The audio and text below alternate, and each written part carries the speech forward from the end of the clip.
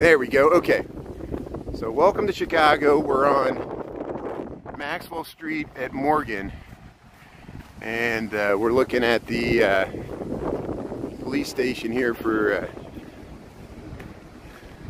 Hill Street Blues.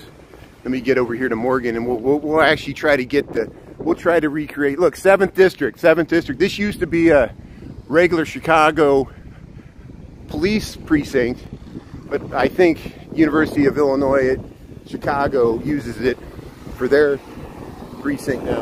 Let's get across the street here.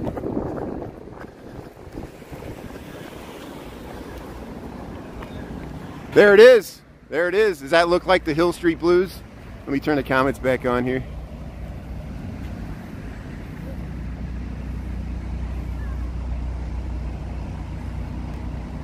Good. I'll have to find that fan page. Thanks for finding that out yeah, we'll cut this out. So welcome to Chicago. Here we are at Maxwell Street and Morgan. We're kind of south and, and west of the downtown.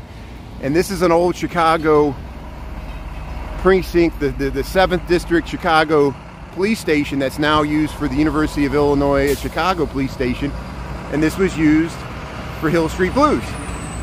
And they, they, they had all the classic scenes where they would show this. And of course, I'll wait till these trucks go by because it's kind of loud. Um, they never really specified that Hill Street Blues was set in Chicago. It was just a composite of several big cities. Sometimes they would use New York, sometimes they would use Chicago. They often use Chicago, and they use this in Hill Street Blues for the, the precinct.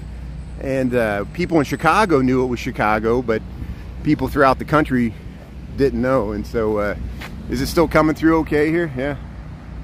That's it. Yeah, we found it. We found the uh, Hill Street Blues. I'll have to show this to Darren. And uh, we'll, we'll post this. And uh, let's head north here. Let's head, let's head towards, uh, we'll head towards Taylor Street. What time we got here? We got seven, we got